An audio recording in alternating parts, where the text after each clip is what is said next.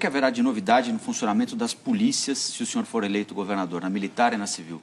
Olha, uh, boa pergunta, Rafael. Vamos mudar. Uh, com isso, eu não quero uh, condenar aquilo que o governador Alckmin fez à frente do governo nesta área de segurança pública, mas o nosso comportamento será diferente. E será diferente também daquilo que propôs o atual governador Márcio França, que foi de separar as polícias, uh, colocando uma, a Polícia Militar, mantendo na Secretaria de Segurança e levando a Polícia Civil para a Secretaria de Justiça. Jamais fazer isso. Integração da polícia é uma medida moderna e eficiente. Os países civilizados do mundo fazem assim.